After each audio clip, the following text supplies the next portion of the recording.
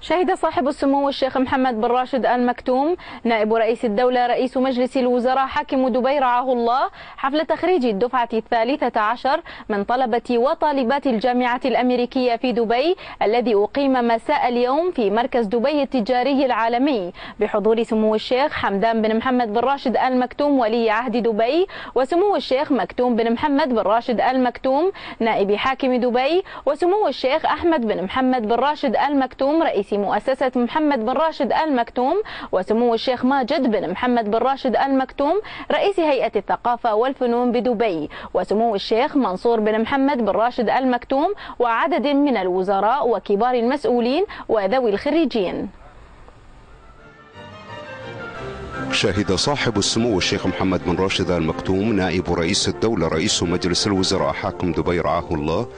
حفل تخريج الدفعة الثالثة عشر من طلبة وطالبات الجامعة الأمريكية في دبي الذي أقيم مساء اليوم في مركز دبي التجاري العالمي بحضور سمو الشيخ حمدان بن محمد بن راشد آل مكتوم ولي عهد دبي وسمو الشيخ مكتوم بن محمد بن راشد آل مكتوم نائب حاكم دبي وسمو الشيخ أحمد بن محمد بن راشد آل مكتوم رئيس مؤسسة محمد بن راشد آل مكتوم وسمو الشيخ ماجد بن محمد بن راشد آل مكتوم رئيس هيئة الثقافة والفنون بدبي وسمو الشيخ منصور بن محمد بن راشد آل مكتوم ومعالي محمد عبد الله القرقاوي وزير الدولة لشؤون مجلس الوزراء ومعالي حميد القطامي وزير التربية والتعليم ومعالي حنيف حسن وزير الصحة وسعادة الفريق ضاحي خلفان تميم القائد العام لشرطة دبي إلى جانب عدد من الوزراء وكبار المسؤولين وذوي الخريجين.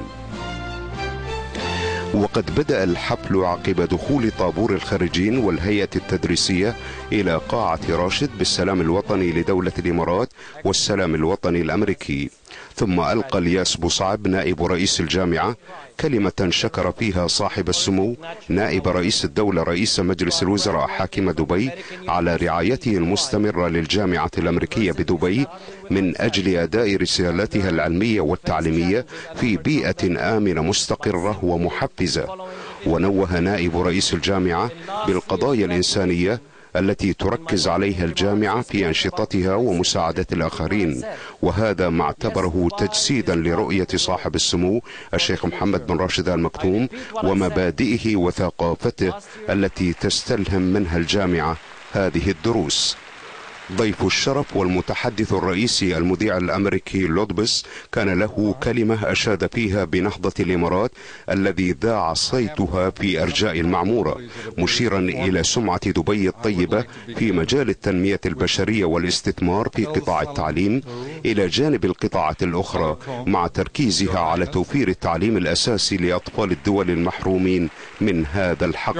واعتبر أن ما أنجزته دولة الإمارات عموما ودبي على وجه الخصوص من بنى تحتية وإنماء اقتصادي واجتماعي أبهر العالم. صاحب السمو الشيخ محمد بن راشد المكتوم راعي الحفل وإلى جانبه رئيس ونائب رئيس الجامعة والضيف الأمريكي صافح الخريجين الذين تسلموا شهاداتهم من سمو الشيخ حمدان بن محمد بن راشد المكتوم ويبلغ عددهم نحو 500 طالب وطالبة من خريجي وخريجات إدارة الأعمال وتقنية المعلومات والتصميم الداخلي والاتصال المرئي وهندسة الكهرباء والحاسوب والهندسة المدنية إضافة إلى عدد من خريجي شهادة الماجستير في إدارة الأعمال. وقد صافح سموه كل الخريجين والخريجات وهنأهم على الدرجات العلمية التي حصلوا عليها وحصدوا ثمار جهود